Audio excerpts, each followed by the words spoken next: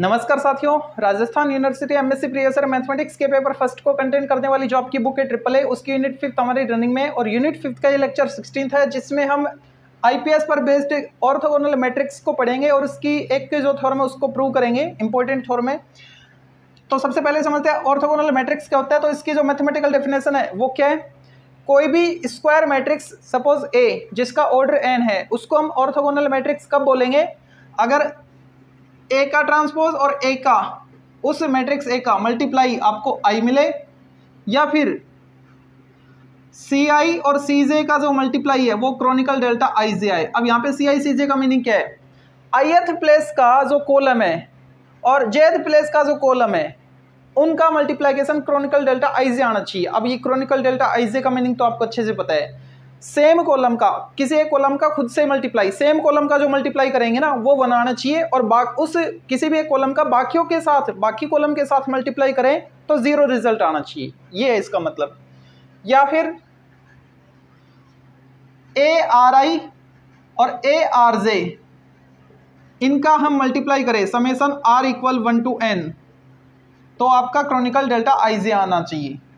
Chronicle delta आई जे इसी से ही आया कैसे आया देखो, जैसे मैं पहले कॉलम की बात करूँ तो उसमें कुछ एलिमेंट इस टाइप के होंगे। ए वन वन पहले कॉलम की बात कर रहा हूँ तो A two one A three one and so on first column है तो ये प्लेस तो फिक्स हो गया। सपोज़ आई थे कॉलम की बात कर रहा हूँ मैं, है ना? तो सी सॉरी ए आर आई और आर आपका वन टू एन चलता जाएगा। ठीक है? ऐसे ही जेड प्लेस वाला जो कॉलम है, उसके लिए भी हम लिख सकते हैं। तो दोनों का मल्टीप्लाई और इनको जब, इनका जो समेसन है, वो R equal one to N इसका मतलब ये सारे एलिमेंट आ रहे हैं। जब इनका हम मल्टीप्लाई करेंगे तो सेम एलिमेंट सेम कॉलम के साथ करेंगे तो वन आएगा और बाकियों के साथ करेंगे तो ज़ीरो आएगा। ये इसका मीनिंग है। तो इन तीनों में से जो भी कोई भी एक कंडीशन हम प्रूव कर देंगे तो हम उस मैट्रिक्स ए को क्या बोलेंगे? ऑर्थोगोनल मैट्रिक्स बोलेंगे। ठीक है? अब इस पर बेस्ड जो इसकी थॉर्म है, उसको देखते हैं। तो अब देखते हैं थ्योरम, जो ऑर्थोगोनल मैट्रिक्स है उस पर based. A L T T from V to V is orthogonal if and only if its matrix relative to some orthogonal basis is orthogonal. ऐसी ही एक थ्योरम हमने पहले भी पढ़ी है। किसमें पढ़ी थी? सेल्फ एडजॉइंट या फिर सिमेट्रिक मैट्रिक्स में। ठीक है? उसमें क्या था? अगर मैपिंग आपकी सिमेट्रिक थी मैपिंग आपकी सिमेट्रिक थी तो बनने वाली जो मैट्रिक्स थी, उसको भी आपने सिमेट्रिक प्रूव किया था। ठीक है? इफ़ एंड ओनली की थॉर्म वो भी थी। और यहाँ पे क्या है? मैट्रिक्स अगर आपकी ऑर्थोगोनल है तो बनने वाली जो मैट्रिक्स है, वो ऑर्थोगोनल होगी। ये दोनों में अंतर ध्यान रखना आप। वहाँ पे क्या था? सेल्फ एडजॉइंट में, यानी सिमेट्रिक मैट्रिक्स में, जो आपकी मैपिंग थी, वो सिमेट्रिक थी। ठीक है? मैपिंग सिमेट्रिक थी तो उस मैपिंग के रेस्पेक्ट में बनने वाली जो मैट्रिक्स थी, उसको आपने सिमेट्रिक प्रूव किया था। यहाँ पे मैपिंग आपकी ऑर्थोगोनल है तो बनने वाली जो आपकी मैट्रिक्स है, वो भी ऑर्थोगोनल होगी। ये यहाँ पे प्रूव करेंगे ना? इफ़ एंड ओनली है तो कन्वर्स पार्ट भी इसी में हो जाएगा। तो सबसे पहले बेसिस आपको ऑर्थोनॉर्मल दे रखी है ऑर्थोनॉर्मल बेसिस है है ना? तो उसको मैं लेट कर लेता हूँ। Let B equal v one v two up to v n be an orthonormal basis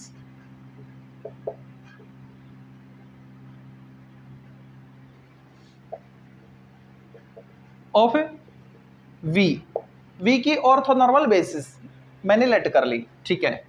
और वी के मैं दो एलिमेंट लेट कर लेता हूँ, ठीक है? जनरल एलिमेंट ले लेता हूँ मैं V I comma V J belongs to V then तो अब मैं टी ऑफ़ वी आई अगर लिखना चाहूँ मतलब टी के रेस्पेक्ट में मैं मैट्रिक्स डिफाइन करना चाह रहा हूँ। तो मैट्रिक्स कैसे डिफाइन करते थे हम? समेसन अप्लाई करते थे और यहाँ पे ए और वी लिखते थे, ठीक है? ये जो इंडेक्स है, ये सेकंड इंडेक्स बनाते थे ए का। तो यहाँ पे कुछ भी हम लेट करते थे सपोज़ आर ले लू मैं, ठीक है? आर आई ये जो इंडेक्स है, ये सेकंड इंडेक्स होना चाहिए ए का, ठीक है? और ये जो आपने वी ले रखा है, इसके सब्सक्रिप्ट में क्या लिखा जाएगा? आर बस ये वाला सेम होना चाहिए और इधर ये दोनों सेम होने चाहिए, ठीक है? और यहाँ पे जो आर है, वो वन टू एन तक वेरी करेगा, ठीक है?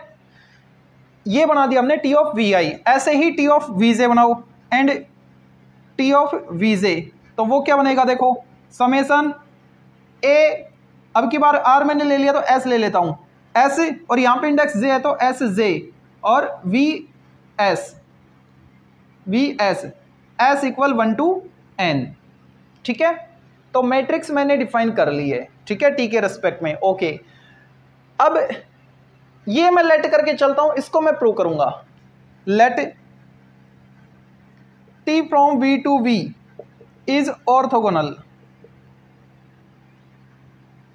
अगर ये ऑर्थोगोनल है तो इसका रिज़ल्ट हम काम में ले सकते हैं? क्या? T of U comma T of V इनका इनर प्रोडक्ट क्या देगा? U और v का इनर प्रोडक्ट ठीक है? लेकिन यहाँ पे जो एलिमेंट हमारे पास, वो तो यहाँ से होनी चाहिए के एलिमेंट तो यहाँ पे तो यू वी टाइप के नहीं है वी वन वी टू इस टाइप के हैं तो मैं कोई जनरल दो एलिमेंट ले लेता हूँ कौन कौन से? एक तो वी आई और एक वी जे और उनकी टी के रेस्पेक्ट में हम मैट्रिक्स भी डिफाइन कर चुके हैं, ठीक है? तो यहाँ पे u को तो मैं लिख रहा हूँ वी आई और v को मैं लिख रहा हूँ वी जे तो क्या लिखें? T of U I comma T of V J V I V J ये वी आई है। इनका इनर प्रोडक्ट और इधर क्या आएगा? यू को क्या लिखा मैंने? वी आई इसका इनर प्रोडक्ट वीजे के साथ, ठीक है? अब टी ऑफ़ वी आई की वैल्यू है मेरे पास, वो मैं सब्सटीट्यूट कर रहा हूँ यहाँ पे। Inner product of summation R equal one to N A R I V R with summation S equal one to N, A S J और वी जे। यही था? T of V J. A S J, V V S V S था ये। V S. और ये क्या बनेगा? We I, we जे के इनर प्रोडक्ट को हम क्या लिखेंगे? क्रॉनिकल डेल्टा आई जे क्यों? क्योंकि ऑर्थोनॉर्मल बेसिस है ये। ठीक है? ओके ये आ गया हमारे पास। अब इनको मैं सोल्व करता हूँ। तो जो स्केलर क्वांटिटी वो तो आगे आ जाएगी डबल समेशन के साथ, यानी R equal one to N और S equal one to N A R I A S J और इनर प्रोडक्ट आएगा वी आर का वी एस के साथ। इधर Kronecker delta I J summation R equal one to N ठीक है। और summation S equal one to N A R I A S J और ये क्या बनेगा? क्रॉनिकल डेल्टा आर एस ठीक है?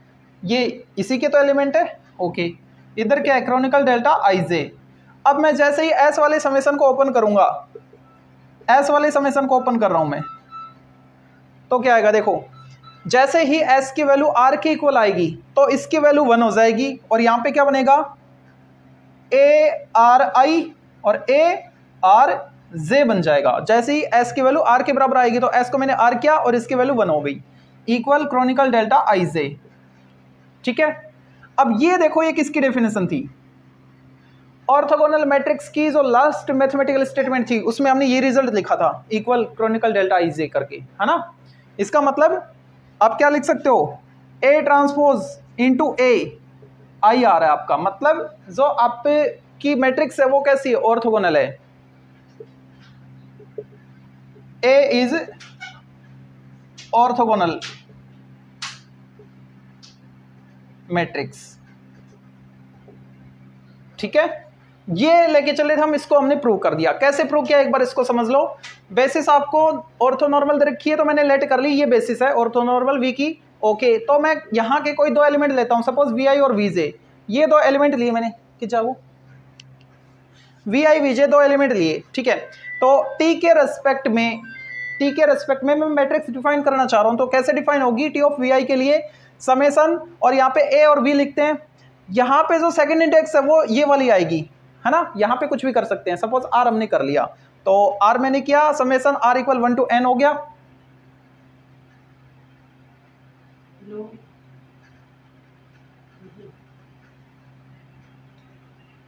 हाँ वो उसमें चला गया के साथ।